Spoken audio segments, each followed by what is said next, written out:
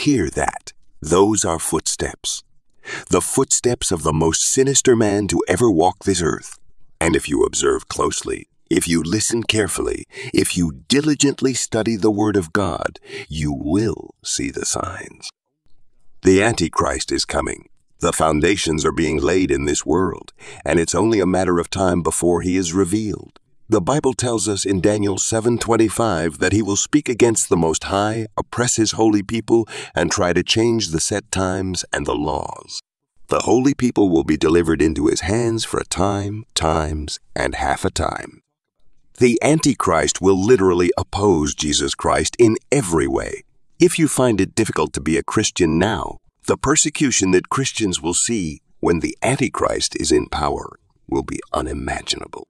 Now, I want to read a few verses, and then we can analyze their meaning. We are living in a crucial moment in the world where an ideological shift is in full swing. But what lies behind these transformations? How does the old system struggle to maintain its power?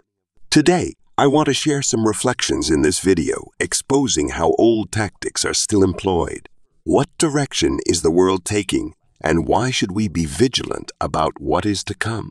It's time to stay grounded and strengthen our connection with the Lord, for He will have the final word and establish definitive order on this planet. We are witnessing a transition that could lead to the great deceptions prophesied, as seen in the prophecies of Revelation, including the issue of the mark of the beast and the rise of the Antichrist. People are being pressured to follow a desperate path clamoring for measures that are being implemented. I hope you understand the depth of this content and watch until the end to have a clear understanding of what is to come. Revelation 13. One begins by saying that the dragon stood on the shore of the sea, and I saw a beast coming out of the sea. It had ten horns and seven heads, with ten crowns on its horns, and on each head a blasphemous name. The dragon is Satan himself, and we know this because in Revelation 22, the Bible clearly states that he sees the dragon, that ancient serpent who is the devil or Satan, and bound him for a thousand years. So, returning to Revelation 13, the dragon stood on the shore of the sea, and a beast came out of the sea. It is widely believed that this beast, according to many Bible scholars, is the Antichrist, and here's why. As I read through chapter 13, I want you to listen to the power and ability granted to this beast. I won't focus so much on the symbolism described in the chapter, but I want us to focus on what the Bible says this beast will do in the world. Verses 4 to 10 say that people worship the dragon because he had given authority to the beast, and they also worship the beast, asking, Who is like the beast? Who can wage war against it? The beast was given a mouth to utter proud words and blasphemies, and exercise its authority for 42 months. It opened its mouth to blaspheme God and to slander his name and his dwelling place and those who live in heaven. It was given power to wage war against God's holy people and to conquer them, and it was given authority over every tribe, people, language, and nation. All inhabitants of the earth will worship the beast, all whose names have not been written in the Lamb's book of life, the Lamb who was slain from the creation of the world. Therefore, here is what we can understand from this passage. There will be people in this world who will worship and idolize the Antichrist because he will suffer what the Bible calls a fatal wound. Many speculate it will be an assassination attempt, but whatever it is, it will appear fatal. Yet somehow, the Antichrist will be healed, leading many to marvel and follow him. The Antichrist will openly blaspheme against God, speak openly against Jesus Christ, and seek to insult the name of the Lord. Consider this the Antichrist will be Satan himself, but in human form. He may start as a politician, scholar, wealthy businessman. Whatever his origin, his agenda will be clear, and his stance will be clear. He will oppose the gospel of Jesus Christ and seek to be worshiped himself. Now, he will receive power and authority over the earth for 42 months, which is three and a half years, and during that time, he will have power over every tribe, people, language, and nation. Think about it for a moment. If you have power over every tribe, people, language, and nation, you must be in a position of global authority, in a position of complete influence and dominion. The Bible doesn't tell us exactly how this power will manifest, whether through sheer military force, some kind of political strategy, or simply through dark forces. However it happens, the Antichrist will have immense evil influence over this world. When the Antichrist comes to power and deceives the masses, he will force people to receive a mark on their right hand or forehead in order to buy or sell anything. This mark will signify allegiance to the Antichrist. Those who refuse to accept it will be unable to participate or function in society. Imagine a world where you cannot buy a loaf of bread or a gallon of milk without the mark of the beast. Imagine being completely excluded from society and forced to live off the land just to survive. Furthermore, Christianity will be illegal and believers will face persecution and even death for their faith. The pressure to bow before the Antichrist will be intense and families will be divided as their loved ones accept the mark and turn away from God. Just listen to how the Bible describes the events that will occur on that day and hour. Revelation 13:14 17 says that he deceived the inhabitants of the earth with the signs he was given to perform in front of the beast, telling them to set up an image in honor of the beast, who was wounded by the sword and yet lived. The beast was given power to give breath to the image of the first beast, so that it could speak and cause all who refused to worship the image to be killed.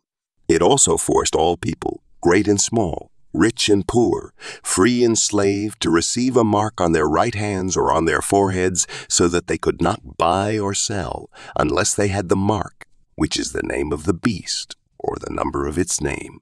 To help you understand these signs more quickly and easily, we are facing difficult times when prophecies are being fulfilled, but many do not realize what is happening around the world. For this reason, I have decided to offer a gift to all channel subscribers a digital ebook, The Secret Behind the Holy Bible, which you can download immediately. The link is in the first pinned comment. In this book, I reveal all the secrets of biblical prophecies that will shock you. Don't waste time. Click on the first pinned comment because we have only a few units available and it will soon be taken down. Imagine a world where you cannot openly pray or worship God, fearing discovery and punishment, where you have to hide your faith and beliefs and don't know whom to trust. Moreover, the fact that everyone, small and great, rich and poor, free and slave, will need a mark to buy and sell means there will be some kind of global currency controlled by the Antichrist. All financial transactions will be monitored and controlled, and those who refuse to conform will be unable to participate in society. Although the Antichrist has not yet been revealed, he is already at work. The Bible tells us that the spirit of the Antichrist is already working through many false prophets and ministries that seem good and sound good. The pastors seem right, and the church buildings are grand, but the gospel they preach is empty, without conviction, repentance, or the Holy Spirit. To better understand false prophets, consider the analogy of wolves in sheep's clothing. According to zoologists and wildlife biologists, Wolves are opportunistic predators that attack weak, sick, or young sheep because they are easier to capture and kill, causing great economic losses to sheep farmers. Three things to note. Wolves are opportunistic predators. They attack the vulnerable and cause losses. It's interesting to note that in Matthew 7 15, we are warned about false prophets who come disguised as sheep, but inwardly are devouring wolves. As children of God, we must be vigilant against false prophets who appear good and righteous, but are deceivers. These false prophets have three characteristics. They are opportunistic predators. They are opportunistic predators. They attack the vulnerable and they bring destruction and loss. The Bible tells us that the thief comes only to steal, kill, and destroy. But Jesus came so that we may have life and have it abundantly. Where there is the Antichrist, there is destruction. He comes to steal people's peace and life, joy, and steal people's time to distract them. With everything but God's things and false prophets employ the same strategy. So you may wonder what I should do exactly to ensure that we are never deceived by false prophets. How can I stay protected against wolves in sheep's clothing? Well, the only true way to recognize deception for what it is, is to know the pure truth. And who is that? Jesus himself said in John 14, 6, I am the way, the truth, and the life. No one comes to the Father except through me. Anyone who says otherwise is contradicting the Bible and spreading deceit. Revelation 13:16. 17 also tells us that he will force all people, both small and great, rich and poor, free and slave, to receive a mark on their right hands or on their foreheads, so that no one can buy or sell unless they have the mark, which is the name of the beast, or the number of its name. Five things you need to know about the mark of the beast. First, allegiance. When the Antichrist is revealed to the world, he will impose a system, a law where you will need to take some kind of mark to participate in society. There is a train of thought that suggests that to truly understand what the mark is and what it means, it is necessary to look back in history. It is believed that at some point, Rome ordered all its citizens to swear allegiance to it and this would be political and also religious allegiance. By swearing allegiance, you accepted and submitted to Roman law, including the religious laws of the time. By swearing allegiance, it meant that you were declaring your loyalty to Rome. Now, with this thinking, the mark of the beast will be a case of people swearing allegiance to the Antichrist. People will take the mark of the beast because, at that moment, it is likely to be imposed by law. Although the message is that you need the mark to buy or sell, in reality you will be swearing allegiance to the Antichrist. Second, the form of the mark. No one knows exactly what form the mark of the beast will come in. However, many speculated could be in the form of a small, digital chip or something called a radio frequency identification tag. Both options can be easily implanted under the skin.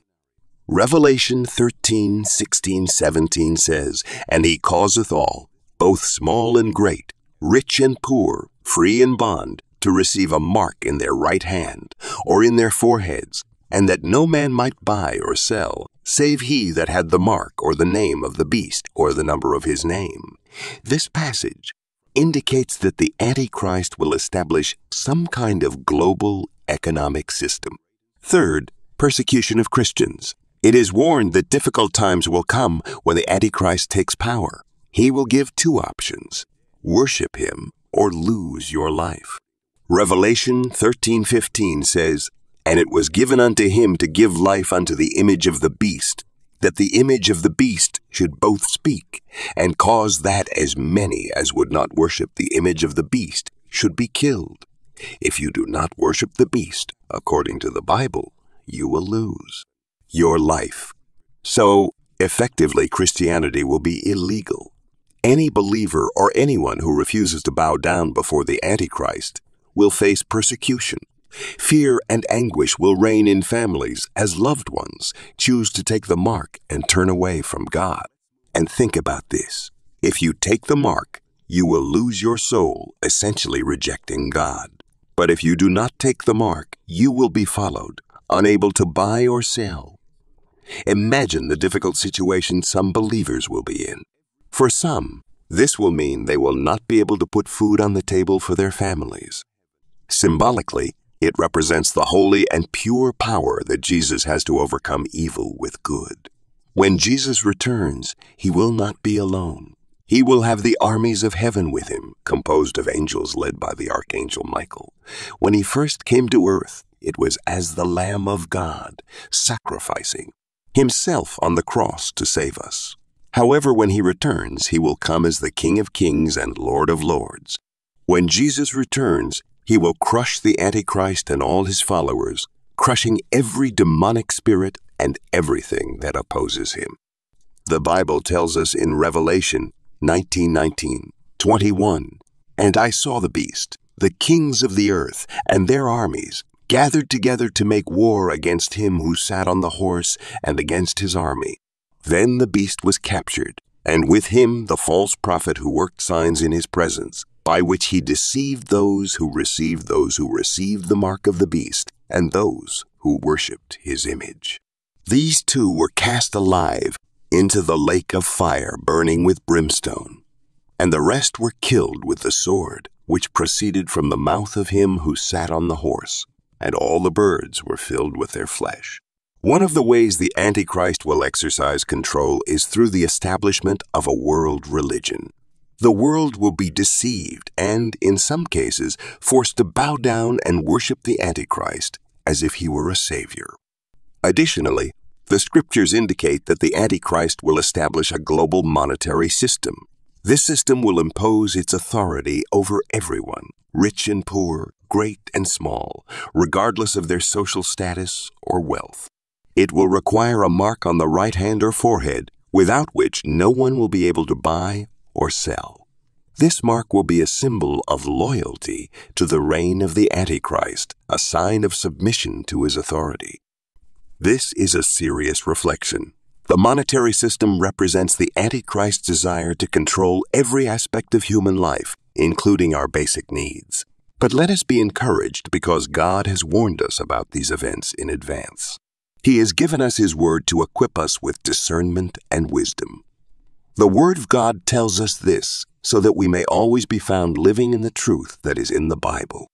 For when we know the truth, the truth and the light that are in the Word of God, we cannot be deceived by the Antichrist or by the spirit of the Antichrist, which, according to the Bible, is already at work in this world today.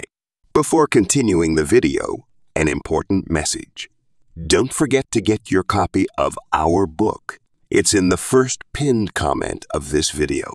Therefore, we must remain steadfast in our faith, refusing to compromise our devotion to Christ, even if it means facing difficulties and persecution. We need to be vigilant and discerning. 1 John 4 3 4 says, But every spirit that does not acknowledge Jesus is not from God. This is the spirit of the Antichrist, which you have heard is coming, and even now is already in the world. You, dear children, are from God and have overcome them, because the one who is in you is greater than the one who is in the world. The spirit of the Antichrist is already present in this world. It is a spirit that lies and deceives. Therefore, we see that in today's days the world calls good evil and evil good. This is the spirit of the Antichrist in operation. But let me remind you that we have the truth on our side. By clinging to the one who gave his life for our salvation, by immersing ourselves in his word and prayer, we will be strengthened against the deceptions of the Antichrist. Let us remain faithful until the end, knowing that our final victory is only in Christ. The Bible calls us to wake up. The Lord wants us to wake up to the fact that there is a heaven and a hell. There is a day of judgment. If someone is driving along the road and falls asleep, or their attention wanders, they could miss some road signs indicating where to go. Well, God has given His children many signs to stay alert. The Word of God is full of signs to inform us that time is running out. This world will not last forever. And that's good news. I don't know about you, but heaven, from what I've read about it, seems like a better place. No more tears, no more sadness, only joy, only peace. Oh, to be in the presence of the Lord forever, away from the sickness and devastation of this world, done with natural disasters and devastation. Hebrews 3 12 says, Take care, brothers, lest there be in any of you an evil, unbelieving heart, leading you to fall away from the living God. This is a serious warning because Paul tells us that we must ensure that none of us has an evil and unbelieving heart, a heart that refuses to trust and depend on the Lord, a heart that turns away from the living God. And let me show you why unbelief is so paralyzing for a Christian. In Matthew 13, when Jesus came to his own town, he began teaching in the synagogue. Verse 58 says, And he did not do many mighty works there because of their unbelief. Think about it. Jesus did not perform miracles there because of their unbelief. Jesus did not do any mighty work because of their unbelief. My friends, see why Paul warns us against having an unbelieving heart. When you have a heart full of unbelief, you are denying the power of God. You are denying the glory of God. You are denying the Lord of all that is. So be careful, people of God. Make sure none of you has a sinful and unbelieving heart that turns away from the living God. Now, for this next warning, I need to provide a bit of context. The children of Israel were liberated from slavery and servitude. They saw incredible miracles of God. They saw the Red Sea parted. They saw the Lord going ahead of them by day in a pillar of cloud to guide the way, and by night in a pillar of fire to give them light. They were fed with manna from heaven. But despite seeing the mighty hand of God, the children of Israel rebelled, murmured, and complained against God. Thus, Paul warns us in the New Testament in Hebrews 3:15, 17, as it is said, Today, if you hear his voice, do not harden your hearts as in the rebellion on the day of testing in the wilderness, where your fathers put me to the test and saw my works for forty years. Therefore, I was provoked with that generation and said, They always go astray in their heart. They have not known my ways. As I swore in my wrath, they shall not enter my rest. The warning here is that we should not harden our hearts. Do not be cold and insensitive to the voice of God. Amidst all the chaos and confusion of this world, the voice of God continues to be present. The Spirit of the Lord calls us, is touching our hearts. A hardened heart means insensitivity to the beauty and glory of God. It means following our own desires instead of God's things. But Thanks to His mercy, God offers us a change of heart. God can change our hearts. The third warning I believe we must be aware of is in Hebrews 2 1, which says, Therefore we must pay much closer attention to what we have heard, lest we drift away from it. Now I believe the Amplified Translation explains this verse better by saying, For this reason, we must pay much closer attention than ever to the truths that we have heard so that we do not drift away from them. In essence, what the Bible is telling us here is that we must be careful not to drift away from the truth, which is Jesus Christ. We must be careful not to stray from the truth of the gospel, because in this world we will encounter people who will offer their diluted version of the gospel. People who will preach a gospel that does not require repentance, commitment, or self denial, but a gospel that will please the ears. That will seem good and make you feel good, but will not have the power to transform or challenge you. That is what we must be careful of, not drifting away from the truth of the gospel, the true gospel of Jesus Christ. Don't forget to download our book, The Secret Behind Bible Prophecies. We've already sold over 500,000 copies and we're down to the last few units, so don't waste time and take advantage. I guarantee you will gain a lot of knowledge after reading this sensational book, made with great care and love for all subscribers of our channel, fully based on the Holy Bible. The link is in the first pinned comment.